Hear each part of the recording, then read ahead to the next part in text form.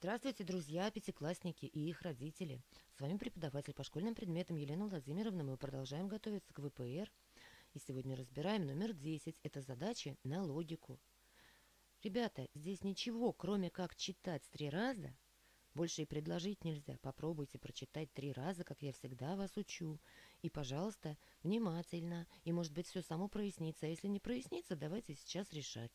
Итак, для тех, кто уже почитал три раза – я с вами давайте почитаю. В магазине купили 4 чашки по 54 рубля и 2 стакана. Сколько стоит 4 чашки и 2 стакана, если стакан в два раза дешевле чашки? А я вам предлагаю вот так разобраться. Купили 4 чашки по 54 рубля. То есть мы точно знаем, что каждая одна чашка стоила 54 рубля.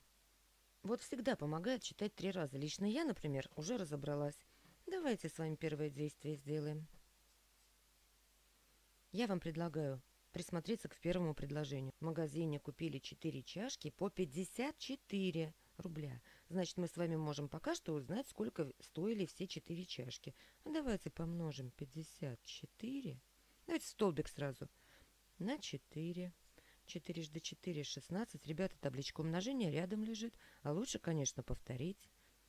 6 пишем 1, запоминаем 5 и 4, 20 плюс 1, 21. 216 рублей стоили все вместе 4 чашки.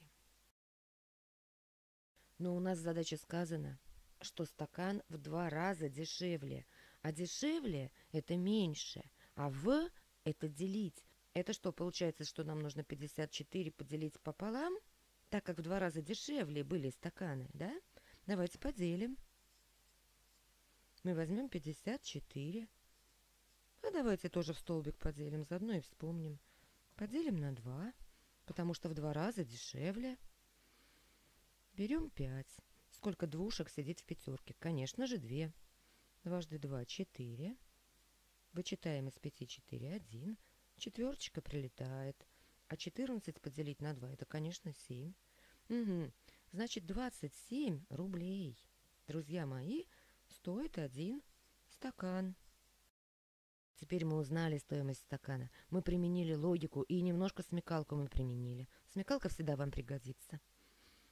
А теперь нам надо посмотреть стаканов-то сколько купили. А два. Значит, делаем третье действие. Мы берем 27 и помножаем на 2.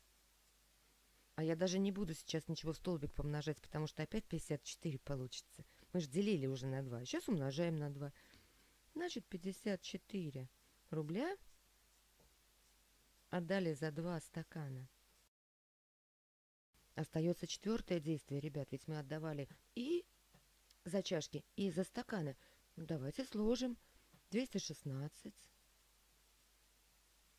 А давайте опять столбик. Прибавим 54. Складываем. 6 плюс 4, 0, пишем 1, запоминаем 1 плюс 5, 6 плюс 1, который запоминали 7. Двоечка прилетает. 270 рублей, ребята, мы когда сложили, получили. А это как раз и есть ответ. А с вами была преподаватель по школьным предметам Елена Владимировна. Ребят, будет очень мне приятно, если вы подпишетесь на мой канал. Это очень поможет развитию моего канала. И удачи вам на экзаменах и контрольных, и ни пуха, ни пера.